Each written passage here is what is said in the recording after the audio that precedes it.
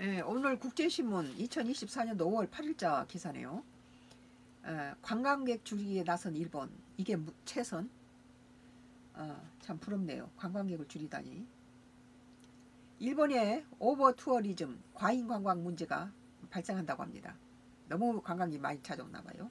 엔저 효과로 일본의 관광객이 밀려들면서 유명 관광지나 도시 일대가 혼잡해지고 무단으로 쓰레기를 버리거나 주차하는 이들이 늘기 때문입니다.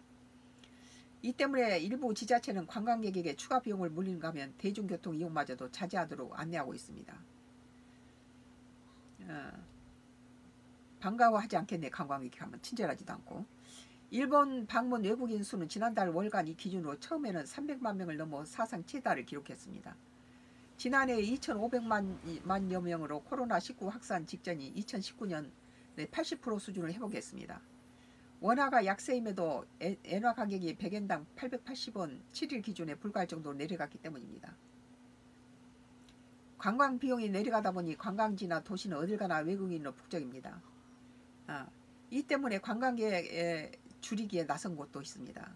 후지산 인증사 성지로 알려진 에, 혼슈 중부 야마나시현의 한 편의점은 지난달 30일 근처에 후지산을 가, 가리는 높이 2.5m 폭 20m 가림막을 설치하는 작업을 시작했습니다.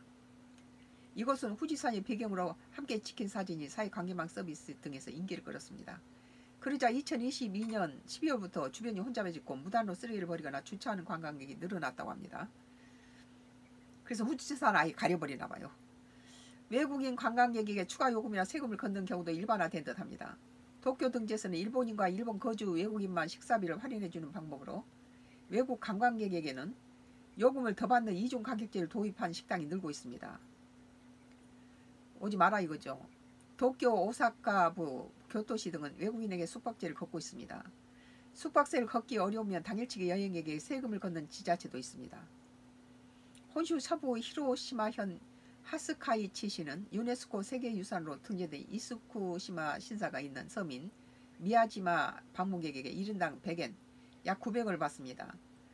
또 다른 세계유산 기산지의 영지와 참배길이 있는 혼슈 서부 와카야마현 고야초도 2028년 4월 이전에 관광객 대상으로 세금 징수 시작을 계획입니다. 심지어 관광객에게 대중교통 이용 대신 걸어가도록 권장하는 지자체도 있습니다. 차도 타지 말라는 거죠. 도쿄 남쪽 가나가와현 가마쿠라시 전차에는 인파가 몰려 주민들이 불편을 겪는 사태가 발생했습니다. 그래서 여기에 안내원을 배치해 유명한 불상 있는 사원까지 걸어가도록 관광객에 안내하고 있다고 합니다. 지나치면 모자란만 못하다는 말이 있습니다. 관광객이 늘면 돈이 돌고 식당이나 상점이 생기면 일자리가 늘어나는 등 지역 경제가 살아납니다.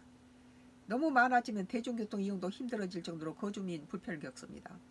그렇다고 명소를 없애고 대중교통 이용을 제한하는가 하면 벌금과 다를 바 없는 추가 요금을 거둬야 하는지 의문입니다. 차라리 기반시설 확충에 투자하는 쪽이 더 나은 선택이었는 듯합니다. 에, 나의 정치 코멘트는 어, 우리 입장에서는 관광객 줄이기에 나선 일본이 참 부러울 뿐이죠.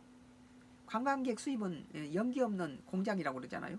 굴뚝 없는 굴뚝 없는 공장이라고 할 정도로 관광 수입은 엄청난 국가에 이득을 주는데 이제 우리 에, 에, 국민은 일본 관광은 그만하고 국내 여행으로 돌려서 우리 아름다운 명소를 돌면서 국내 관광에 많은 어, 역할을 90점을 해야 한다고 보, 봅니다.